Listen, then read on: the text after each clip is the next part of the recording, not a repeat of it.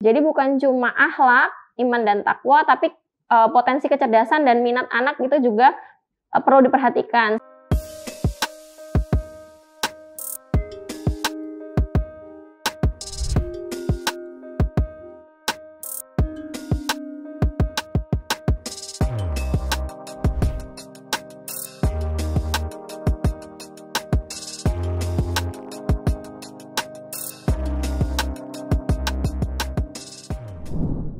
Assalamualaikum warahmatullahi wabarakatuh. Anda kembali dengan saya Putri Sukma Dewi dari Fakultas Sastra dan Ilmu Pendidikan. Uh, baiklah, Anda sedang menyaksikan video pembelajaran dari kuliah teknokrat. Pada materi ini, saya akan membahas tentang konsep kurikulum pada mata kuliah pengembangan kurikulum dan silabus. Baik, sebelum kita melanjutkan, Anda bisa subscribe dulu ya channel YouTube Kuliah Teknokrat. Baik, uh, pada pertemuan ini Eh, saya akan membahas dua konsep penting ya. Yang pertama adalah konsep kurikulum itu sendiri, kemudian yang kedua adalah pengantar kurikulum 2013. Uh, eh, baiklah, untuk masuk ke konsep kurikulum ada dua hal yang perlu kita bahas ya. Yang pertama adalah pandangan lama atau pandangan yang ada sebelumnya, kemudian pandangan modern tentang kurikulum.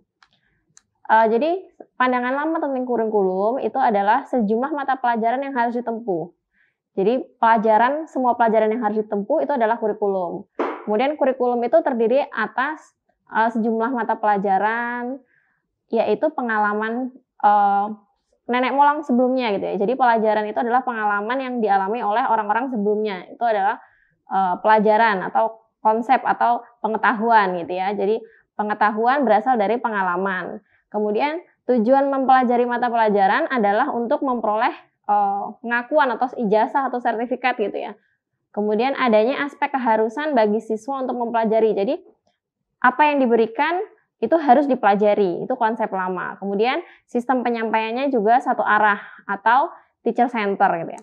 Kemudian bagaimana dengan konsep pendidikan uh, modern ya? Jadi pendidikan modern itu adalah curriculum is interpreted uh, to organize to organize courses, activities and experience which pupils have under direction of the school whether in the classroom or not. Itu menurut Romin 1954. Itu maksudnya adalah kurikulum meliputi semua kegiatan. Jadi semua kegiatan dalam pembelajaran dan pengalaman ketika dia mengampu sebuah pembelajaran itu dianggap sebagai kurikulum. Jadi semua proses pembelajaran itu dianggap sebagai sebuah kurikulum. Jadi kegiatan belajar mengajarnya pun bervariasi. Kemudian tujuan pendidikan untuk pembentukan pribadi anak dan cara belajar hidup di masyarakat. Jadi lebih kepada life skill dan knowledge gitu ya. Kemudian eh, apa itu definisi kurikulum? Nah, kurikulum itu sebetulnya berasal dari bahasa Latin kurir yang terdiri yang artinya adalah tempat berpacu ya. Jadi sehingga kurikulum dapat diartikan sebagai lajur track ya, jalur gitu ya, yang harus diikuti seseorang untuk mencapai sebuah tujuan. Jadi uh, ini jalurnya, ini arahnya, itu kurikulum. Arah-arah atau pedoman atau lajur yang diarahkan untuk mencapai sebuah uh, tujuan dari pembelajaran itu sendiri, itu kurikulum. Nah, menurut Undang-Undang Nomor 20 Tahun 2003 tentang Sistem Pendidikan Nasional ya, jadi kurikulum adalah seperangkat rencana. Jadi rencana dan pengaturan mengenai tujuan, isi, dan bahan pelajaran serta cara yang digunakan sebagai pedoman penyelenggara kegiatan pembelajaran untuk mencapai tujuan pendidikan tertentu. Jadi itu adalah perangkatnya, perangkat dari pembelajaran. Isinya apa rencananya bagaimana, kemudian tujuannya apa, isi dan bahan pelajarannya apa untuk mencapai sebuah tujuan gitu ya. Jadi sebuah perencanaan itu adalah kurikulum menurut undang-undang. Diatur juga pada dalam pasal 36 ayat 3 itu adalah kurikulum disusun sesuai dengan jenjang dan jenis pendidikan dalam kerangka negara uh, Satuan Republik Indonesia ya dengan memperhatikan beberapa hal. Yang pertama adalah peningkatan iman dan takwa. Kemudian akhlak mulia, kemudian meningkatkan potensi kecerdasan dan minat peserta didik. Kemudian keragaman potensi daerah dan lingkungan.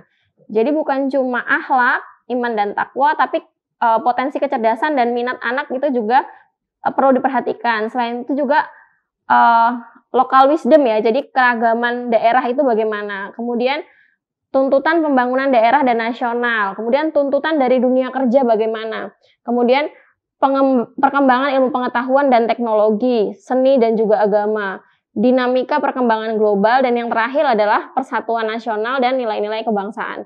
Jadi semua hal itu perlu diperhatikan dalam membuat sebuah kurikulum. Nah ini ada perkembangan kurikulum di Indonesia ya. Jadi ternyata kurikulum di Indonesia itu memang uh, ad, sempat berubah-ubah ya. Jadi tahun 1947 itu ada rencana pelajaran gitu ya. Kemudian tahun 1964 ada rencana pendidikan sekolah dasar. Kemudian tahun 1968 itu ada kurikulum sekolah dasar. 1973 ada kurikulum proyek perintis sekolah gitu ya. Kemudian 1975 ada kurikulum sekolah dasar. Kemudian 1984 ada kurikulum 1984. Nah, ini yang sudah mulai agak terkenal ya. Dia ada 1994, ada kurikulum 1994. Kemudian ada uh, 97 ada revisinya. Nah, yang sudah mulai masuk ke uh, tren sekarang itu adalah mulai masuk ke kurikulum berbasis kompetensi atau dulu dulu tahun 2004 disebut sebagai KBK. Kemudian tahun 2006 ada KTSP, tingkat satuan pendidikan. Nah, saat ini yang paling baru untuk sementara ini adalah kurikulum 2013 ya itu adalah perjalanan perubahan kurikulum. Nah, kenapa sih ada perubahan kurikulum ya? Ada e, tantangan pengembangan kurikulum. Itu ada beberapa hal ya kalau kita melihat saat ini. Itu ada tantangan masa depan. Jadi ada perubahan e, yang terjadi gitu, globalisasi, kemudian ASEAN Community dan lain sebagainya. Kemudian masalah lingkungan hidup, kemajuan teknologi yang semakin cepat, itu kan mempengaruhi e, pembelajaran apa yang harus uh, dipelajari oleh siswa saat ini. Sehingga kan harus ada perubahan rencana dan tujuan pendidikan yang harus dicapai oleh siswa sehingga terjadilah perubahan kurikulum. Kemudian ada ekonomi berbasis pengetahuan, kemudian ada uh, kebangkitan industri kreatif ya, kemudian ada pergeseran kekuatan ekonomi dunia, pengaruh dan imbas uh, dari teknologi ya, kemudian ada mutu investasi trans formasi pada sektor pendidikan, belum lagi ada materi-materi di Teams, kemudian ada di PISA ya. Dan yang paling penting juga adalah persepsi masyarakat. Jadi terlalu menitik beratkan pada aspek, aspek kognitif. Jadi terlalu banyak uh, kognitif atau pengetahuan saja gitu ya. Sedangkan beban siswa uh, siswa itu kan butuh juga kalau di masyarakat itu kan life skill ya, ke, uh, keterampilan untuk hidup gitu ya. Kemudian ada uh, kurang bermuatan karakter. Jadi bukan cuman kognitif nih yang penting gitu. Tapi hal lain juga penting termasuk karakter gitu kan. Kemudian tadi saya sebutkan life skill dan lain sebagainya ya. Kemudian perkembangan pengetahuan dan pedagogi. Ya, itu juga penting. Kemudian eh, kompetensi yang dibutuhkan pada masa depan, ada kemampuan berkomunikasi.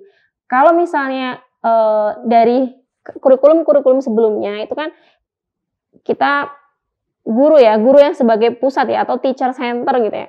Sehingga kan siswa itu kemampuan berkomunikasinya kurang. Sedangkan saat ini yang sangat dibutuhkan ternyata kemampuan berkomunikasi itu sangat sangat dibutuhkan oleh siswa. Nah, berarti kan harus ada rencana untuk membuat oh bagaimana nih rencananya kurikulumnya agar siswa itu kemampuan komunikasinya baik. Kemudian bisa berpikir kritis, bisa berpikir kreatif gitu ya. Nah, itu harus ada pengembangan dari kurikulum. Nah, tantangan-tantangan ini membuat uh, sebuah pengembangan kurikulum yang uh, baru gitu ya. Sehingga muncullah kurikulum kalau yang saat ini yang terbaru adalah 2013. Nah, ini ada dinamika kurikulum ya. Di sini ada jadi ada perkembangan, akademik, industri, sosial budaya dan ini ada empat hal ini yang kemudian membuat sebuah uh, yang dibutuhkan apa nih? Yang dibutuhkan adalah pengetahuan, keterampilan, dan sikap. Jadi ternyata bukan cuma pengetahuan, bukan cuma aspek kognitif ya, ternyata keterampilan itu juga dibutuhkan. Karakter atau sikap juga dibutuhkan. Oh berarti butuh ada pengembangan kurikulum. Kenapa? Karena kita butuh SDM yang kompeten, yang juga punya pengetahuan yang baik, punya juga keterampilan, dan juga punya sikap yang baik. Gitu. Nah, uh, ke semua itu kemudian dikonsep gitu ya.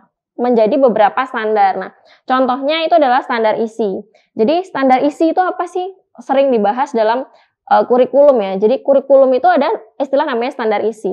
Standar isi itu sebetulnya adalah ruang lingkup materi dan tingkat kompetensi yang dituangkan dalam kriteria tentang kompetensi tamatan. Jadi ada standarnya itu kompetensi tamatan yang diinginkan seperti apa. Kemudian kompetensi bahan kajiannya bagaimana. Kemudian kompetensi mata pelajarannya bagaimana. Dan silabus pembelajaran. Jadi kompetensi tamatan, bahan kajian, mata pelajaran, dan silabus pembelajaran yang harus dipenuhi peserta didik pada jenjang pendidikan dan jelas jenis pendidikan tertentu. Itu adalah standar isi. Gitu ya. Nah, untuk kurikulum 2013 itu ada kerangka kerja ya, standar untuk uh, kurikulum. Itu apa saja sih? Dilihat dari tiga hal. Jadi ada kesiapan peserta didik sebagai basic knowledge-nya peserta didik ya. Kemudian tujuan pendidikan nasional itu apa? Kemudian kebutuhannya apa? Jadi tiga hal ini menjadi uh, acuan ketika membuat sebuah kurikulum. Ketika guru atau satuan pendidikan itu membuat kurikulum ya untuk sekolahnya masing-masing. Tapi ada standar-standar yang ditetapkan oleh pemerintah seperti yang tadi ya, standar standar isi gitu ya, atau uh, standar kompetensi lulusan satuan pendidikan. Kemudian masuk nanti ada standar proses, kemudian ada uh, eh, KI ya kompetensi inti ya, jadi standar isi, kemudian ada standar penilaian. Nah itu dibuat sebuah silabus silabus itu adalah rencana pembelajaran untuk uh, guru ya. Kemudian ada nanti buku panduannya ada panduan guru, kemudian ada yang namanya panduan siswa. Nah, panduan guru dan panduan siswa itu nanti akan dibuat uh, oleh uh, itu sebetulnya sudah ada ya, tapi kalau misalnya karena di sini kan yang membuat silabus, rencana pembelajaran, pelaksanaan sampai pada penilaian hakikatnya adalah guru atau Anda sebagai calon guru. Kenapa? Karena yang tadi balik lagi ke awal, kesiapan peserta didik yang tahu bagaimana peserta didik dikelaskan Anda sebagai guru nantinya. Kemudian tujuan pendidikan nasional sudah ditetapkan, tapi bagaimana mencapai tujuan pendidikan nasional sesuai dengan kesiapan peserta didik Anda dan bagaimana kebutuhan yang dibutuhkan di sekolah Anda itu kan Anda yang menilai. Gitu ya. Anda yang tahu bagaimana. Nah, tapi tetap ada kerangka dasar kurikulum yang diinginkan oleh pemerintah sebagai standar isi yang akan dicapai gitu ya.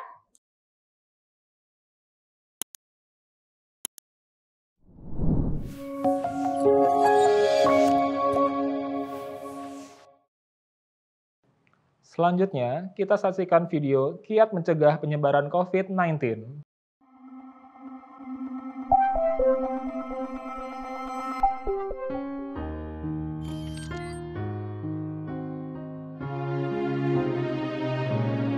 Assalamualaikum warahmatullahi wabarakatuh. Pertumbuhan penderita COVID-19 di 2021 ini semakin meningkat. Tentunya ini tidak hanya berdampak terhadap kesehatan kita, tapi juga berdampak terhadap perekonomian Indonesia. Oleh karena itu, marilah bersama-sama kita memperjuangkan melawan COVID-19 ini. Protokol kesehatan tetap wajib kita laksanakan, walaupun telah divaksinasi.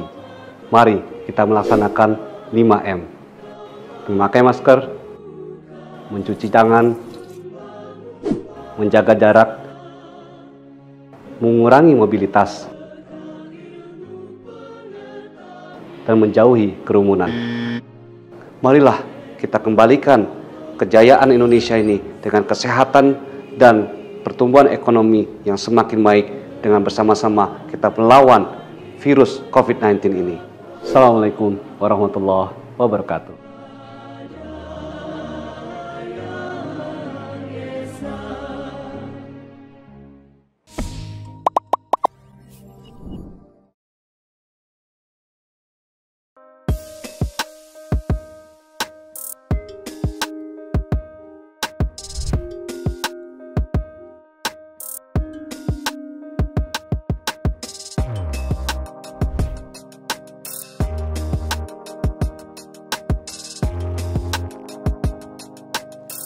Terima kasih sudah menyaksikan video pembelajaran ini.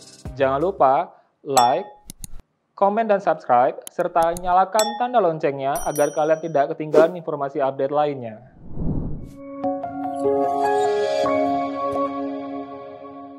Adios